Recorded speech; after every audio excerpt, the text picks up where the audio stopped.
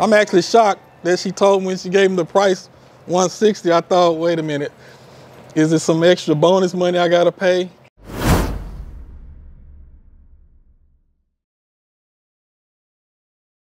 Welcome to our YouTube channel. My name is Ismi and welcome to Roger and Ismi Vlogs. So today's subject will be going to our neighbor's house and he's one of our subscribers. So before anything else, daghan salamat sa inyong pagsuporta o paghigugma sa aming channel. Thank you so much for your support and love guys. And if you're new to this channel, don't forget to click like, share, and subscribe. And hit the notification bell for new uploads or new videos. So maybe you're wondering guys why my face is crunching because it's a little bit hot outside. And yeah, it's 3 p.m. Filipino time and it's Thursday. Climate is a little bit hot today, sweaty, sweaty, sweaty. So let's go to our friend's house. you already seen him in one of our past vlogs and now he is staying in one of the apartments here at Mam Kupang's. so here's Greg and we'll be asking him questions since he's staying here in the Philippines for a month now. So Greg, how are you? My one month anniversary. I survived. so how is it so far that you stayed here for a month and you're living in an apartment? I'm doing great. I'm um, I, am doing better than I thought I would. You know, I adjusted and um, it's it's um, a learning curve. You know, I watched the YouTube channels and stuff and everything, and I'm pretty much stuck with what they were saying, and I really haven't had no issues. Um, like I said, I just moved in this place, I think a week ago, we can have it go. Would show you inside, but right now I got everything all on the floor. I just been cleaning, so look like a hurricane hit it right now. But maybe next week. it's okay, Greg. We, we understand that you're still in the process. Yeah, I'm just cleaning the walls. Yeah. I just wanted just just you know just a home cleaning before I put everything in place. Uh, you want to be tidy and yeah. And I mean, I, am not super clean, but I want to start off clean. You know? okay, that's good. That's mm -hmm. good to know. So, so far, what do you think about San Carlos living here for one month? Um, I plan to stay here for at least a year. And I'm traveling. I, I say I gave myself every two weeks I'm gonna travel to another city and stuff. But I like to keep San Carlos as like a home base. Um, like I said before in my other video, um, I'm from Houston, so I'm used to a large, hustling, bustle city. So I didn't think I would want to be in San Carlos because it's slow. After 8 o'clock, everything is shut down. but it's kind of giving me an inner peace. I feel comfortable. I, man, I've been getting the best sleep ever. Back home, I never could sleep all through the night. And I'm out like a light here. Okay, that's that's good to know that you're relaxing here. Yeah and you have good sleep. That's good to know. So you you really feel that you're comfortable here. Yeah, and meeting the locals, I make an effort every day. I make an effort to go to a place and and meet meet someone. And initially, I think um, you know what when I used to um, speak. Yeah, I was kind of bothered the first couple of days because when I speak to them, they wouldn't speak back or they looked shocked. And I kind of took offense to that.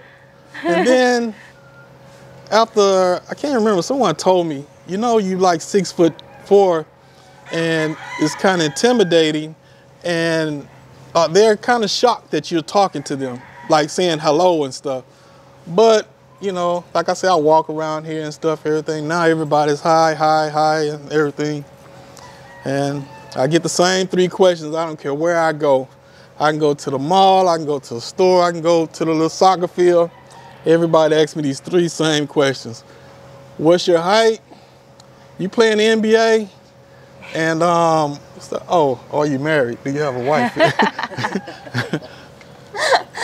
Okay. I get them all the time. Yeah, that, that's the most frequent one since they just seen you Mm-hmm. and you're pretty tall than the other foreigners that come come here. Yeah. Yeah. So that's the reason why they get intimidated because of your height.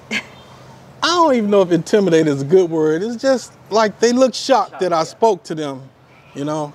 And um, that's it.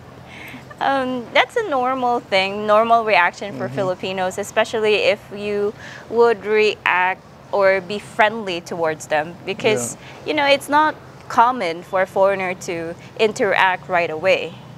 So that's really a common reaction. So don't be offended. It's also good that you you said that to us right now. and you got offended because they didn't ha- response back or they didn't say hi to you. now, about the people here. Do you have any problems like how to communicate with them? Yeah, I, like I mentioned this in the other video too. It's like, you know, I, when I was in the US, I was just like these guys watching now. You hear a lot about every YouTube channel they say the main reason to go to Philippines because they speak English. So I thought I wouldn't have a problem. And myself, I speak English and German.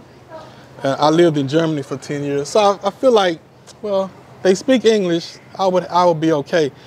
And it's not like I said before, it's not like they don't speak English.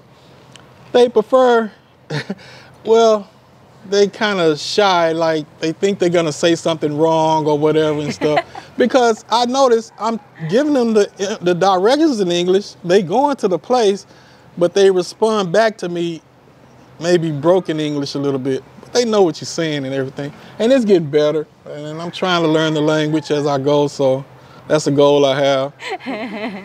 but as far as the people, I say 99.99% of the people, man, been more than what I thought when I got here. Okay, so you already experienced hospitability. Yeah. That's what we, we used to say. It's a big difference than the U.S. It's just so much um, tension, and everybody's a threat. Here, I don't, I don't feel threatened. I feel safe. Not just because I'm tall or nothing. I think people just generally just, I ain't gonna say they like me, but they, it's just a general respect. Like here, my name is Sir. Everybody call me Sir. I got, got called Joe once. Okay, what Okay. can you say about your apartment? Well, yeah, what can you say about your apartment? Um, man, like I was, you know, like I, I watched when I was in the U.S. Um, my home, I paid twenty eight hundred a month, American dollars for it. Eh. Yeah, But now, um, I pay one fifty five or one sixty a month, and it's pretty big. I think two two um, couples can live in there, two separate couples in there. yeah, it's the same scenario that we had before. Yeah. And it's more than enough for me, really. And I'm at. I'm actually shocked that she told me when she gave me the price 160. I thought, wait a minute, is it some extra bonus money I gotta pay? so with my budget, I was going through it. I, I, I have, um, I think I can last on a thousand dollars living here with just and not starving or nothing, just buying regular stuff. But I've been kind of overspending because it's one thing you got to learn when you get here is to try not to, um, what's that? What they um, convert your money over. Yeah. Yes. Conversion. You got to think pesos. Everything you got to think in a peso mentality. But it's hard because I get paid in American dollars. and I find myself over tipping everybody and overpaying stuff. But What about the, the skin tax? Yeah, what about the skin tax? Have you experienced that now? okay, that's why I got the 99.999%. I called one of the drivers and I was going to the hardware store and he confronted me and I usually I think the ride is 10 pesos. I yeah, think. only 10 pesos. Yeah, but I used to give him like 30 or something, whatever. But he stopped and he asked me how much a ride. I said, it's 10 pesos, right? He says, um, no. And he says 20 or whatever. I said, okay, I'll get in. He gets in, he takes me all the way around. I know where I stay, but he takes me all the way around and he says he's lost. And he, he tried to get me to pay him some more money. I said, no, just let me. We kind of basically a small argument. I said, just let me off here. He let me off here. I just walked. I was right across the street, and I just walked over here. But that's the only guy, and I won't even say that was a bad encounter. It was just Uh, he was He on his hustle. Yeah, he was just trying to to get extra money from you. So yeah, there are people like that here, but only Yeah. a few. Um, when it comes to the whereabouts here, like the direction, is it difficult for you or simple for you? Um, it's it's difficult because the streets are not. I don't know if it's just in this here area. The street name is not the name they know it by. Like I tell someone I live on First Street. I mean, uh, but the street name is not First Street. It has a different name on it. Yeah. Actually, that name is just new.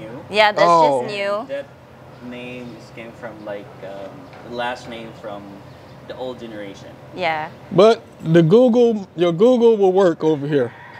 yeah, that's a good thing about it. Yeah. The Google Maps is always right here. It will work. Yes. They know this street as Margarita and it's First Street all the time. Margarita, First Street. And Yeah. everybody knows that.